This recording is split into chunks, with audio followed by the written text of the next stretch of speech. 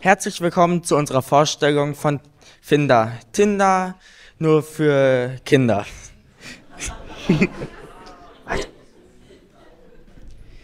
Aber was ist eigentlich das Problem, was wir mit unserer Lösung Finder beheben wollen?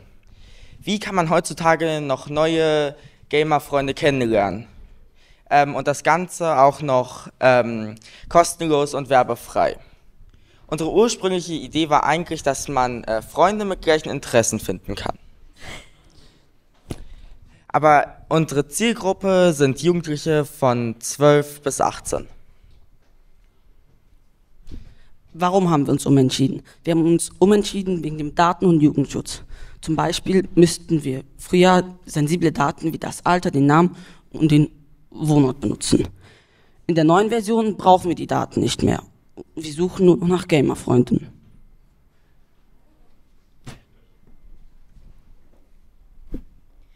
Was ist unser Endprodukt? Wir haben eine Web-App entwickelt, wo Jugendliche äh, ihre Multiplayer-Spiele teilen können und Gamer kennenlernen können, die die gleichen Interessen haben wie sie. Welche Daten und Technologien haben wir verwendet?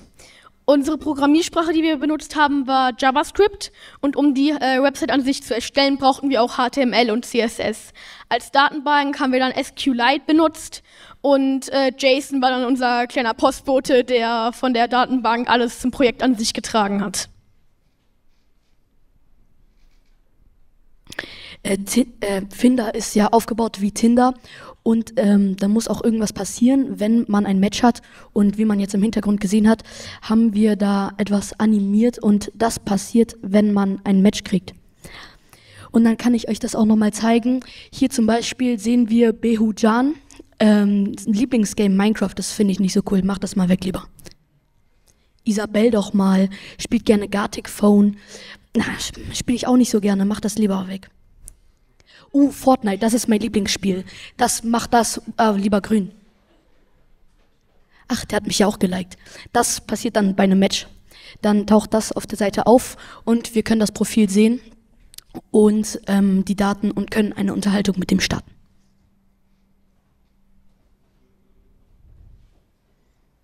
Jetzt, nächste Folie. Mockups. Ein Mockup ist der erste Entwurf der Seiten. Er ist eine Form von einer Dokumentation und hilft und ist wichtig für das gemeinsame Verständnis. Ganz links ist die Skizze der Seite. In der Mitte ist der Pfad, um auf die Seite zu kommen. Rechts die Daten, die die Seite benötigt. Ja, damit unsere Website, also Finder, gut funktioniert, braucht es auch eine Datenbank. Und zwar Datenbanken sind sowas, die die Information der Website äh, strukturieren, damit die Website damit klarkommt. Wir zum, also Finder benutzt jetzt äh, zwei Tabellen.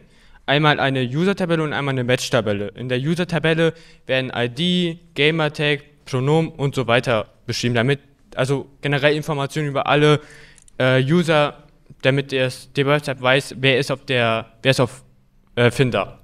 Die zweite Tabelle ist Match.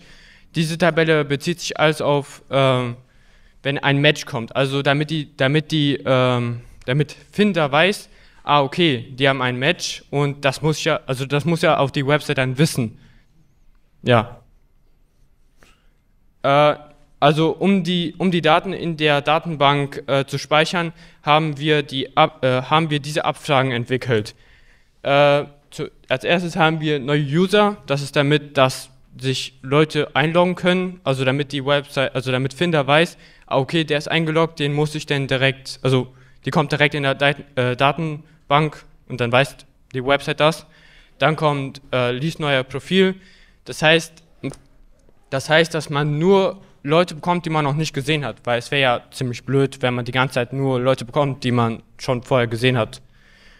Und das dritte ist halt Update gesehen, damit die Website weiß, okay, die haben sich gesehen, die muss ich nicht mehr den vorschlagen und auch gewowt. Also sag ich mal, geliked, äh, damit man weiß, oh, die haben ein Match, okay, die, das muss ich auch mal, das muss auch die Website wissen.